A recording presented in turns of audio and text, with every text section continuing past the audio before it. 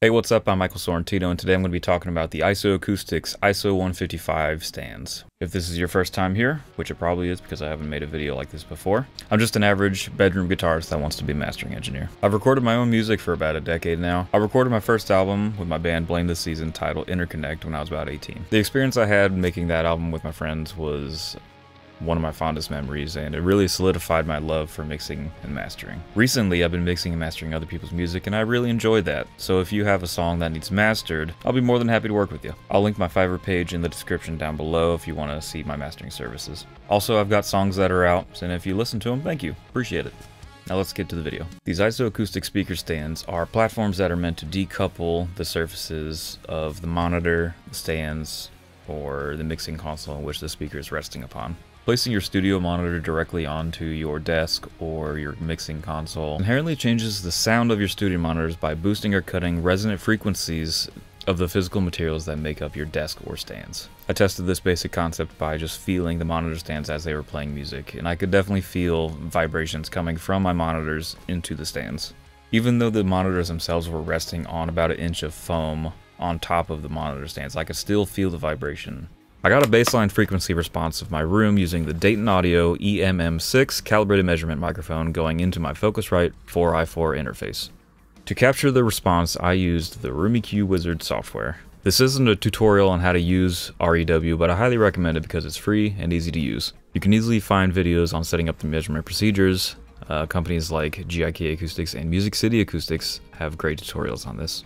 Before testing, I tried my best to get accurate measurements of my monitor placement to ensure the most accurate comparison. I measured the distance between the corners of my monitors and the walls next to it. For the height, I measured the bottom of the tweeter grill. Then using REW, I measured each studio monitor separately, making sure to stand in the same place in the room for every measurement. I'm going to be honest and say that I don't know if capturing the frequency response and looking at the waterfall graphs in REW is the best or most scientific way to go about testing this. This is really just an attempt to understand what I'm hearing. For those that don't know what a waterfall graph is, it's a two-dimensional frequency response graph that has a z-axis, and the z-axis represents time. When you look at a waterfall graph, you can see on the time axis which frequencies are lingering around the longest. And the ones that are lingering the longest usually coincide with standing waves, room modes, or um, you can see reverb or flutter echo. If you're curious about what room modes or standing waves you might have in your room, you can always look up the room mode calculator online.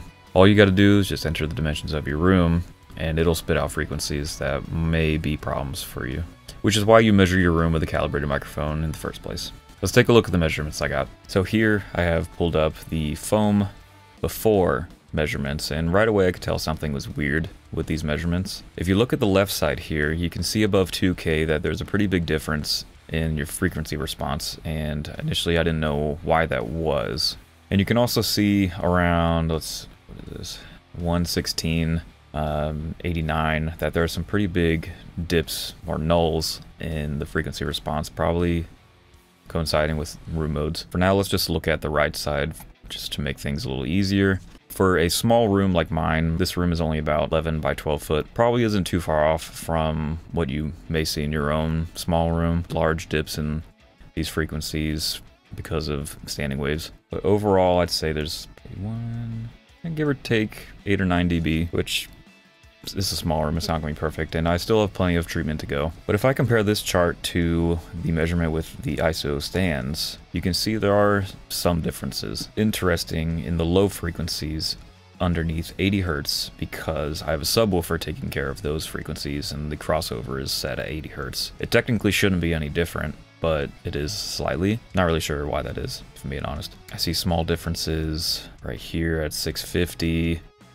there's some difference at 570 over here, over there. So ISO is green. The biggest difference I see is really at 10K. There's a about a 3 or 4 dB difference. I'm not sure what would have caused these differences in the readings here. Maybe it was just the slightest bit difference in my monitor placement when I put them on the ISO stands. I'm not sure. And get this, I forgot to load up the calibration file for my microphone, so this isn't even 100% accurate. But for the sake of the before and after, both files don't have the calibration. It's it's all right. So here we have the waterfall graph And what I was saying before, here's the axis where the frequencies were that we saw already, but the difference is the time frequency here. You can see that it reaches out all the way to about a second. So because my room is somewhat treated, I have panels on my left, right, and I have a cloud. I'm not seeing hardly any reflections, which is great. Um, there's a little something right here at 400. And if I had to guess, maybe that's having the reflections bounce off the desk or something like that. So here are the main issues. It's a small room, so there's going to be a lot of this.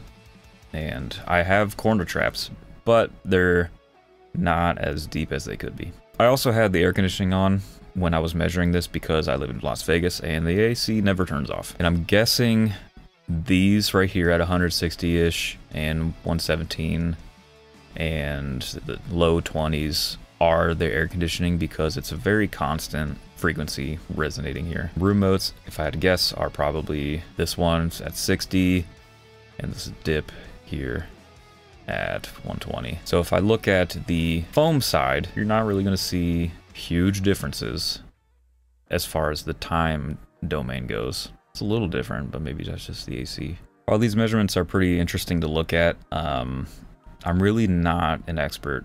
I know the fundamentals of room acoustics, but I'm, I can get a, get a pretty good idea of what I need to work on as far as room treatment goes. Another way we can look at this is the spectrogram, which is pretty much the same thing, but from the uh, top-down view. This only goes up to 740. I wanted to see what was going on on the low end. And I can see, so here's before, there's a there's a resonance here at 160, which we saw earlier. But interestingly enough, it's only a small spike here with the isoacoustics. So coming back to the SPL readings, if I load up the left side again, um, I'm glad I took the readings because I figured out why there's this discrepancy between the left and the right high frequencies. On the back of the HS8s, there's a plus 2 dB high frequency switch, and at some point that got flipped up, so that explains why the left side is brighter. But I didn't really notice that because maybe it was just like that for a long time and my ears got used to it, so I fixed it.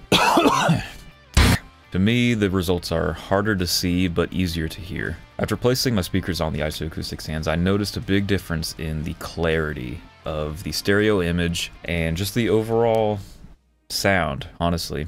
I was hearing more detail in the low mids and the upper mids as well. It was almost like there was some smearing going on in the overall soundstage it's hard to describe how much it actually affected what I was hearing. Going back to what I was saying earlier about the vibration coming through the speakers into the stands, when I was playing music, I could feel absolutely zero vibration in my monitor stand. It was amazing. It's almost like the speakers are floating in free space, which is great because that's kind of what you want. So this was definitely a good purchase and I recommend you getting them if you have your speakers sitting on stands or your desk. At the end of the day, these are just a small piece of the pie and will definitely improve your listening experience.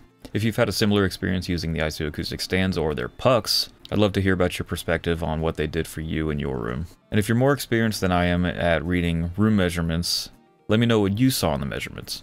Final thoughts? Great purchase, you should get them. Hit me up for your mastering needs, and thank you for watching.